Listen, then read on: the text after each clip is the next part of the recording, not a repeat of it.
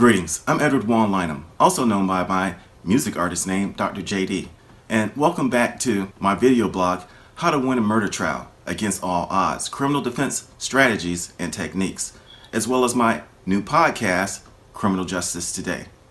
The last episodes of this video blog, God's Special Counsel Part 1 and Part 2, I introduced to you a bit about my background and experience helping those with their unresolved mental health. And as I've helped those people deal with those unresolved mental health issues, as well as how I've worked with those folks, my clients, as they navigate the juvenile dependency system, working with mental health therapists, psychologists, and psychiatrists in order to resolve their case.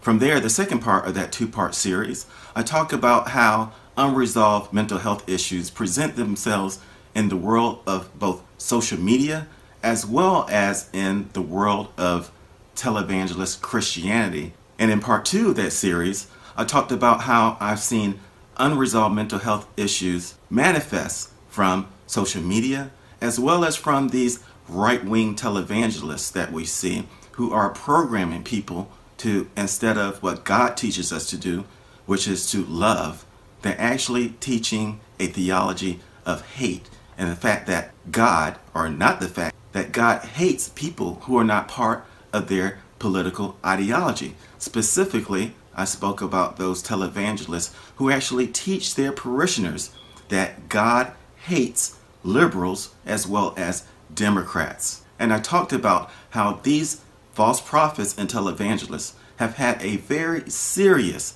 negative impact on our society as a whole. And that negative impact has been the demoralization of the United States of America to where we've come to today. So I'm going to stick with that word demoralization to stick with today's topic. Of course, we know from watching the news that clemencies and pardons are now a big part of the news cycle because of what's going on in our nation right now with a United States president who's leaving, and that's the time when we usually see them exercise their pardon or clemency power the most. So it's a right issue right now, especially since we're dealing with what is usually the controversial pardons and clemencies that a United States president grants to others when they're on their way out of office. But let's first start with defining what is clemency. It's important to understand in the body of these terms, clemency, pardon, reprieves, and commutations, that clemency is really the umbrella term. Clemency being the umbrella term means that pardons, commutations, and reprieves are all forms of clemency. Now, looking back on what is the public policy behind state legislatures and state and U.S. constitutions granting presidents and the executives clemency power, that power is granted to the executive for what was the primary purpose of, of course, forgiving those who may not have been guilty of a crime, but also for commuting harsh sentences Maybe someone was punished too hard, and the executive then has to step in to commute that sentence. One of the terms in this video blog today that we're going to define and talk about commutations. But first, let's talk about how this plays out in my home state of Florida. You see, here in Florida, we have what's called the Executive Office of Clemency. Notice it's the Executive Office of Clemency, not pardons and commutations. It's the Executive Office of Clemency because that's where people apply, whether you're in prison, you haven't gone to prison yet, that's where you apply for your pardon, your reprieve, or for your commutation. Now, oftentimes we watch television and we see where people who are already in prison and those prisoners may go before a parole board before they perhaps can get out of prison. Now, in those type of states, the executive power, which usually lies in the governor, is granted to that parole board. So that parole board has the executive power to, in essence, grant a commutation. But again, before we talk about commutations, let's talk about the big one pardons. As I previously said, a pardon is the granting of forgiveness to someone who has committed a crime. But as we're also learning from watching the news, the President of the United States can also issue a pardon to someone who hasn't yet been charged with the crime. So, sure, they've committed a crime already, but the authorities have not charged them and arrested them with the crime. So the President of the United States, as well as governors of states, can issue prospective pardons before the person is arrested on the crimes that they have already committed. So they are pardoned. That means on a state level, if a governor issues a pardon, that they are pardoned and cannot be prosecuted for state crimes. However, they can still be prosecuted and arrested on federal crimes. The same thing applies with federal pardons. And as we know, only the President of the United States can issue a federal pardon or any type of federal clemency. So a pardon that comes from the President of the United States can only pardon someone for federal crimes that they have committed. They can still be charged and prosecuted with state crimes that they have committed because a federal pardon does not cover state crimes. Now let's talk about the form of clemency called a reprieve. Now a reprieve is pretty much asking for a stop, a stay of the proceedings, which is usually requested to give someone, like a defendant or someone who may be going to prison, more time.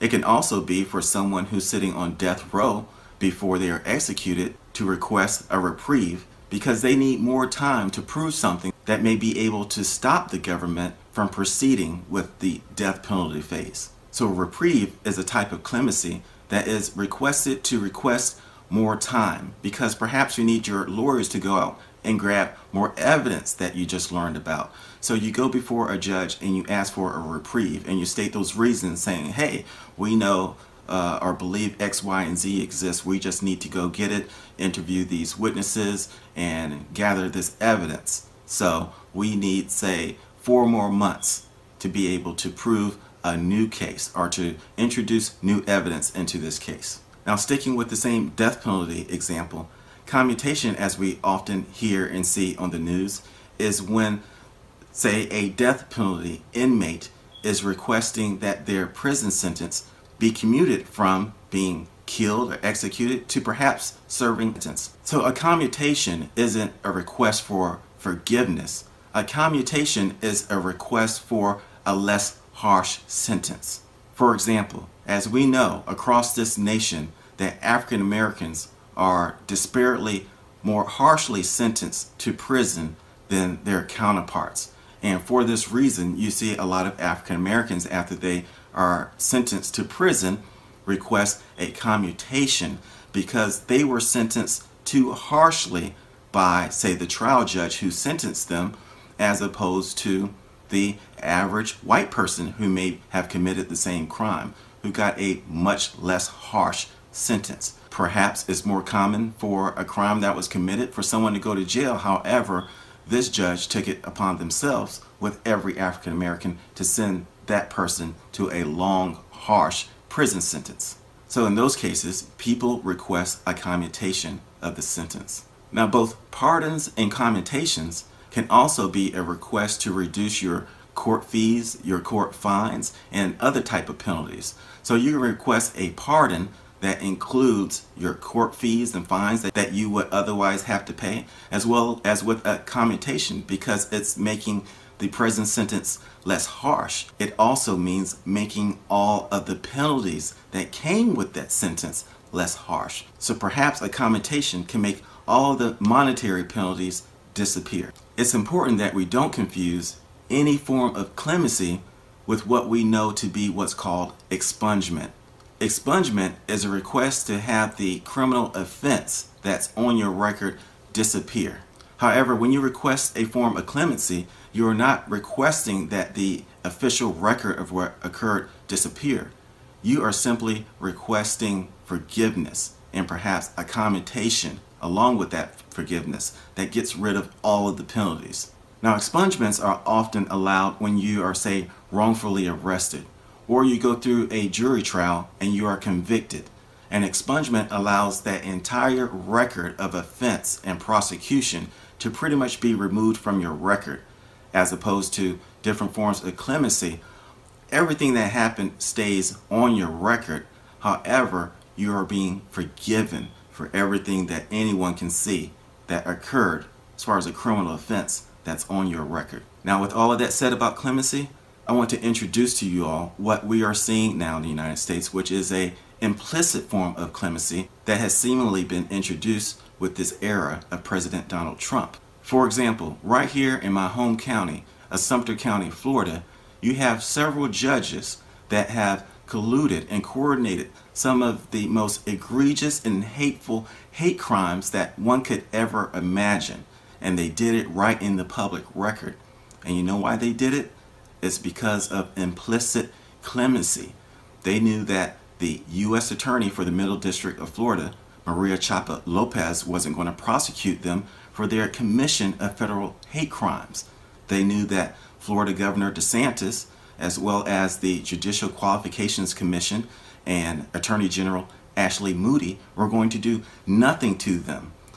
These local judges, Michelle Morley, Paul Militello, William Hallman II, as well as Daniel B. Merritt, all commissioned some of the most egregious hate crimes right here in Sumter County, Florida, because they knew they were operating under implicit clemency. And implicit clemency that allowed them to commit the most egregious hate crimes for white supremacy that we have ever seen in our United States of America.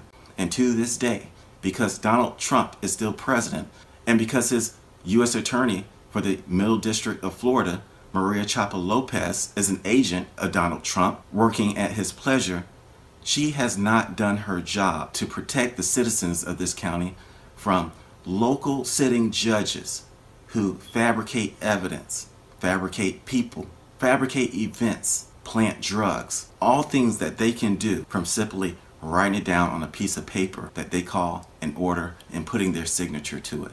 So it's not only important that we know what clemency is and how pardons, commutations, and reprieves fall under clemency, it's important that we understand that we are now operating, especially here in Florida, in a realm of what's called implicit clemency, which allows these hate groups like the Sumter County, Florida Judiciary, right here in Florida's 5th Judicial Circuit, to commit and racketeer the most egregious federal hate crime that anyone could ever imagine. So that's all for this episode. And this particular episode and how I ended it is going to be the perfect segue into the next episode where I'm going to be talking about race, mass media, and the law. So in the next episode to this video blog, I'm going to be talking about the entire history of how white supremacists have used media, books, what we see on television, pretty much everything we see occurring present day to influence us, to cause what I described in the prior episode as to be the unresolved mental health issues that we are, almost all of us are dealing with right now in our nation because of the anxieties, the fears, what's going on, the craziness that we're seeing. It's all planned. It's all by design. And in the next episode, Race, Mass Media, and the Law, I'm going to break it down to you so that you can better understand how you are being influenced by the many factors that you probably didn't really realize was changing you and influencing your behavior and having a negative effect on your mental health. So until then, thank you for watching another episode of my video blog, How to Win a Murder Trial Against All Odds, Criminal Trial Strategies and Techniques, as well as my new podcast, Criminal Justice Today. Thank you again and goodbye.